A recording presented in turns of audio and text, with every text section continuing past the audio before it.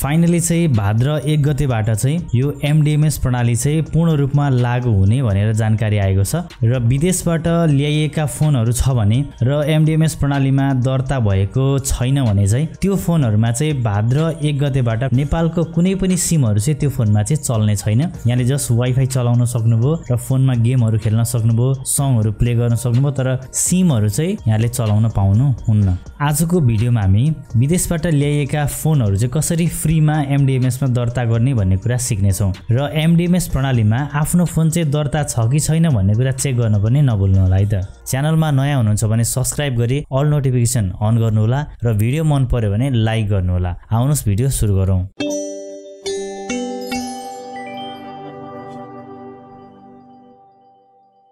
सबैभन्दा पहिले चाहिँ यहाँले NTA dot gov dot NP यो वेबसाइट चाहिँ यहाँले ओपन गर्नुपर्ने हुन्छ। नेपाल दूरसञ्चार प्राधिकरणको यो वेबसाइट चाहिँ ओपन हुनेछ।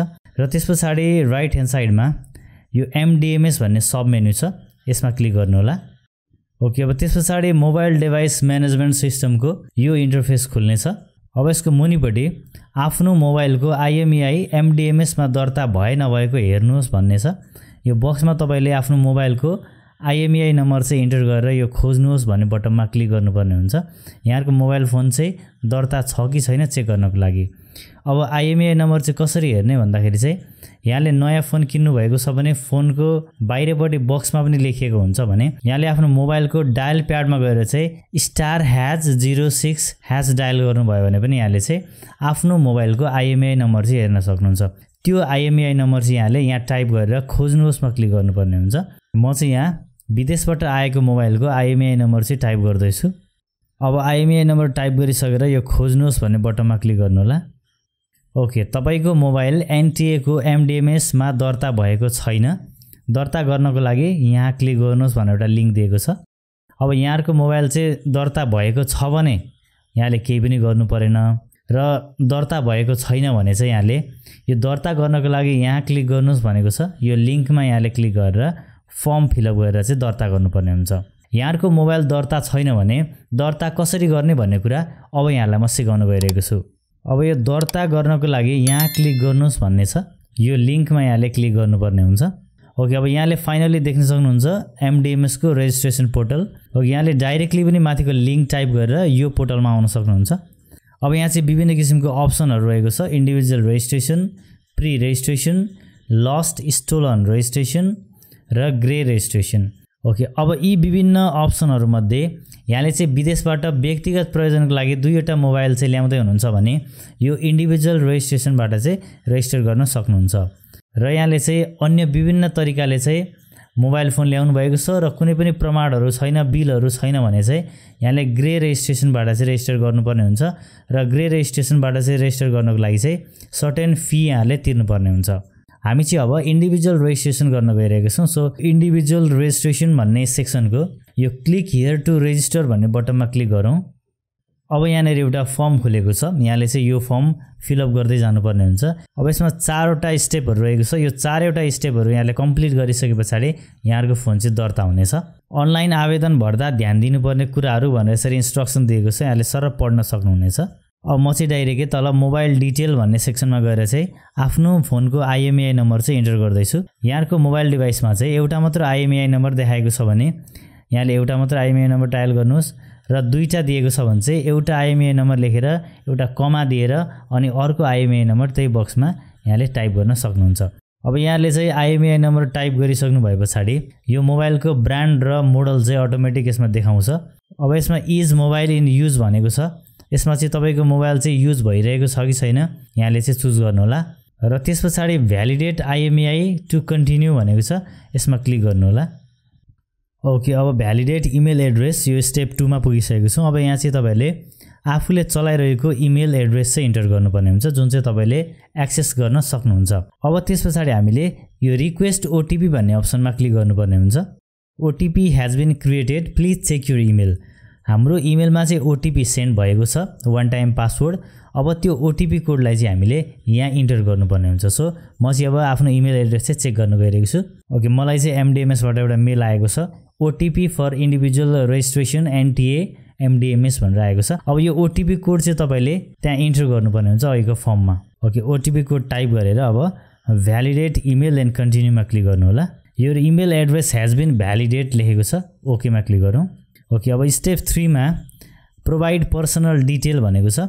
हामीले चाहिँ आफ्नो पर्सनल डिटेलहरू चाहिँ यसमा प्रोभाइड गर्नुपर्ने हुन्छ। यो चाहिँ मोस्ट इम्पोर्टेन्ट सेक्सन हो। ओके अब सबैभन्दा पहिले चाहिँ कन्ट्री अफ डिपाचर भनेको छ। यहाँहरू कुन देशबाट आउँदै हुनुहुन्छ त्यो देश यहाँले चुज गर्नु होला अब त्यस पछाडि डेट अफ इन्ट्री र डेट अफ डिपाचर यहाँले इन्टर गर्नुपर्ने हुन्छ। अब त्यस पछाडि पर्सनल इन्फर्मेसनमा आफ्नो फर्स्ट नेम आफ्नो लास्ट नेम राख्नुहोस्। नेसनालिटीमा नेपाली राख्नुहोस् र त्यस पछाडि आफ्नो फोन नम्बर इन्टर गर्नुहोस् र आफ्नो पासपोर्ट नम्बर पनि इन्टर गर्नुहोस्। अब यो सेक्सनबाट तपाईँहरूले चाहिँ आफ्नो एड्रेस डिटेल चाहिँ प्रोभाइड गर्नुहोला। अब त्यस पछाडि मोबाइल युजर डिटेल भनेको छ। यसमा चाहिँ who is going to use this mobile भनेको छ। हामीले यो मोबाइल चाहिँ आफ्नो प्रयोजनको लागि ल्याएको र आफूले चलाउँदैछौँ भने सेल्फ भन्ने अप्सन चुज गर्नुहोला। र हामीले चाहिँ अरू कसैलाई गिफ्ट गर्दैछौँ भने चाहिँ ओदर भन्ने अप्सनमा यहाँले सेलेक्सन गरेर अनि कन्टिन्यूमा क्लिक गर्नुहोला। ओके अब त्यस पछाडि स्टेप फोरमा कन्फर्म यो सबमिसन भनेको छ। अब त्यस पछाडि सबै कुराहरू यहाँले सर आफ्नो डिटेलहरू चेक गर्नुहोला। अब यो लास्टमा चाहिँ तपाईँहरूले आफ्नो डकुमेन्ट चाहिँ अपलोड गर्नुपर्ने हुन्छ।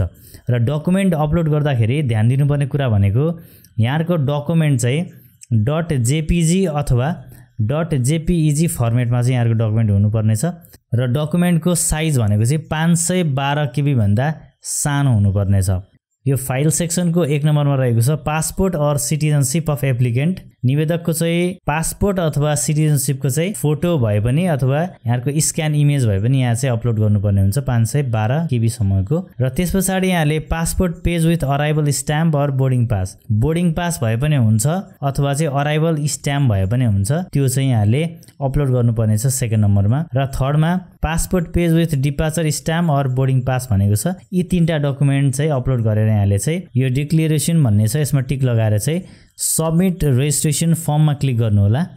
ओके रेजिस्ट्रेसन सक्सेसफुल चेक यो इमेल फर मोर डिटेल भनेको छ। हाम्रो रेजिस्ट्रेसन चाहिँ सबमिट भइसकेको छ। अब एकचोटि फेरि चेक गरौँ के देखाउँछ यसमा। म चाहिँ यहाँ फेरि आइएमआई नम्बर लेखेर चाहिँ यो खोज्नुहोस्मा क्लिक गर्दैछु। ओके अब यसमा मेसेज आएको छ तपाईँको आइएमआई दर्ता प्रक्रियामा छ। अब त्यस पछाडि हाम्रो आइएमआई नम्बर चाहिँ दर्ता भएको नभएको भन्ने कुरा चाहिँ हामीलाई हाम्रो इमेलमा चाहिँ इन्फर्मेसन आउनेछ हामीले चाहिँ आफ्नो इमेल चाहिँ चेक गर्नुपर्ने हुन्छ। यो registration request has verified registration detail भनेर यहाँनिर चाहिँ फुल नेम आइमे नम्बरहरू अनि मोबाइलको मोडल नम्बर ब्रान्डहरू देखाएको छ। ओके अब हाम्रो मोबाइल चाहिँ एमडिएमएस प्रणालीमा चाहिँ सक्सेसफुल्ली दर्ता भइसकेको छ। अब यो इमेल आइसके पछाडि चाहिँ मैले एमडिएमएसको वेबसाइटमा गएर आफ्नो आइएमआई नम्बर चाहिँ चेक गर्दाखेरि चाहिँ यस्तो खालको मेसेज देखाएको छ। तपाईँको मोबाइल एनटिएको एमडिएमएसमा दर्ता भइसकेको छ अनि तलपट्टि आफ्नो मोबाइलको यो ब्रान्डहरू मोडलहरू सबै यसरी डिटेल चाहिँ आएको छ। हाम्रो फोन चाहिँ फाइनली एमडिएमएसमा दर्ता भइसकेको छ।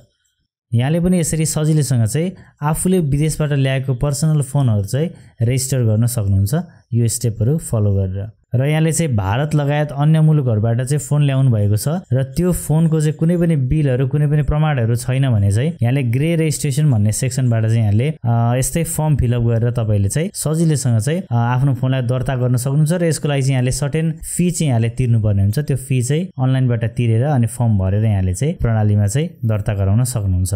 हस्त यहाँलाई भिडियो कस्तो लाग्यो? यहाँहरूको सल्लाह सुझाव कमेन्ट गर्नुहोला र फेरि अर्को भिडियोमा भेट्ने बाचाको साथ आजलाई भने म बिदा चाहन्छु। हस्त नमस्कार ह्याप्पी ब्राउजिङ